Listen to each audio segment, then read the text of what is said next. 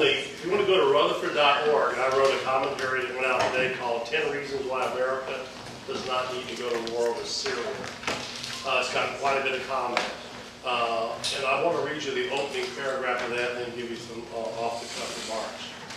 For once, I'd love to hear a government official reject a call to war because it is immoral. Because we have greater needs here at home that require our attention and our funds. Because we're already, already $1 trillion poorer due to these endless, mindless wars. Because America should not be policing the world. Because we refuse to enrich the military-industrial complex while impoverishing our nation. Because endless wars will never result in peace. Because we have needle, meddled enough in foreign policy in the Middle East and cannot risk any further blowback. Because we're sick and tired of fomenting civil wars in far-flung places. Because we're not going to assist rebel fighters in overthrowing a foreign regime only to later unseat those same forces when they can't be controlled. Because using the overused fear tactic about weapons of mass destruction doesn't carry much weight anymore. Because the only compelling national security interest right now is taking back control of our runaway government. Because, in the words of John Paul Sartre, when the rich wage war, it's the poor who die. Because while there may be causes worth dying for, there are none worth killing for. Because Gandhi was right when he asked, what difference does it make to the dead, the orphans and the homeless, whether the mad destruction is wrought under the name of totalitarianism or in the holy name of liberty or democracy? Because all war is a crime, and because there are never any winners in war, only losers. I served uh, during the Vietnam War. I was a military officer. I was an infantry officer who trained troops. Uh, that was my first inclination. Was, I served in the military from 1969 to 1971. Uh, my platoon was a filter back platoon for men who had served in Vietnam. What convinced me to take an anti-war stance was sitting and talking to those people coming back, those soldiers. People sitting in front of me crying because of who they had killed. Helicopter pilots flying back psychologically damaged because they were told to empty their weapons, their bullets, before they came back and didn't use them. One man actually told me he went over a village. He tried to stop the, the pilot with the gunners, and they decimated the village. He said he saw women and children falling down dead. They were like ants on the ground. Uh, those things changed my life. And uh, so I have served in the military. I saw how the military operates. There are good people in the military, don't take me wrong. But my personal experiences in life taught me that we need to really consider what we're doing in some of these places. Far from places like Vietnam, Syria, Iraq, Afghanistan. Uh, before, I'm a lawyer, a constitutional lawyer, before we drop bombs on anybody or invade someone's country, it's the same as invading a country when you drop a bomb on them, it's an act of war. We need full, open debate. We don't need some council making the decision. We don't need the president making the decision. We need to get a televised debate where Americans can participate. We need to know what's going on. Is there a national security interest? What is it?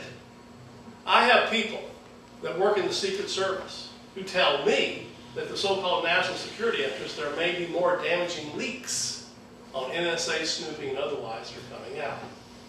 So this war may be an awful distraction. Obama won the Nobel Peace Prize, but he overrides the biggest military empire in history. And when you drop a missile anywhere, again, I served in war, I know. I was an infantry officer. Women and children died. We're playing in the hands of Al-Qaeda. They know it. We look like monsters to people in the Middle East. For two summers in a row at the Rutherford Institute, I taught Afghani judges. They were all women. And they talked to me about their country. They said it's devastated. There are people roving through the desert. Their homes have been wiped out. Not by Al-Qaeda, but by America's missiles, drones, and bombs they were seeing.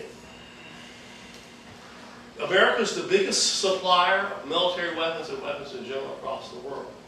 I've talked to soldiers and pilots, by the way, from Afghanistan who studied with me in the summer. And some I've defended, by the way. I defend vets who are basically anti-government. They don't like the way, they, things they saw over there in the war totally freaked them out. Uh, one actually told me He was an Air Force pilot, top of his class at the Air Force Academy. He sat in front of me and says, I really don't think we should be over. I said, why? He said, what blew my mind, he says, driving by opium fields with American troops guarding the opium. Whether that's true or not, I believe it is true. The other thing I, I demonstrate in my new book, The Government of Wolves, is that the things we're doing over there are being brought home. 2015 drones are going to be flying over the United States. 30,000 by 2020. I think there will be more. It's a $30 billion a year industry, they're estimating, in aerospace industry. These things are going to be equipped. They've been tested over in uh, foreign countries. They're coming home. They're going to be used against free speech protesters. They're going to have scanning devices. They're going to be looking in our homes. They're miniaturized now. They're mosquito drones, uh, hummingbird drones. Privacy is going to be eradicated. Uh, tasers, all the things we're seeing happen in this country are all tested first overseas. So all this stuff does have a blowback effect. Uh, my hero is Martin Luther King. Uh, he warned against this. In fact, he was actually shot exactly a year on April 4th, 1968, after he came out against the Vietnam War. He said very clearly that America had become a thing-oriented society. We no longer cared about people. Not only people overseas, but here. And unless we change our attitude about how we look at people, treat people, reaching out to people in love as if they're human beings. And I'm not talking about just people here, but all over the world. I thought, as David said, we stand for democracy and freedom. Dropping missiles on people, killing people, expanding the, the empire worldwide, all the things we're seeing happening in our government, the NSA snooping on us, all the unconstitutional actions this government is taking, we have to be alarmed. Right after Martin Luther King was shot, an article appeared that he had written in which he said, the government no longer listens to us. Then he went on to say, the solution is this, we need First Amendment activity. I like, I like what David's saying about what's happening uh, during these debates. He said we need uh, militant, nonviolent resistance. That's the actual phrase. In other words, we have to get tough on these issues. Uh, debating is fine, but we're going to have to take action. And I think going to, to uh, our representative Hurt's office in mass is a very good idea. If they don't listen to us, the First Amendment guarantees us the right to assemble and petition the government for a redress of grievances. But they don't want that, ladies and gentlemen. They want to move quickly here. They don't, they don't want us to know what's going on. Uh, give us a hint is all I would ask. If I was sitting for the Congress, I want to know, give me one clue what's going on here. We don't really know. They're just going ahead and bomb people. And uh, I'll be honest with you, I'm, I go to bed tonight, I'm going to be praying for those women and children over there and innocent people who could get wiped out by a missile. Okay, thank you.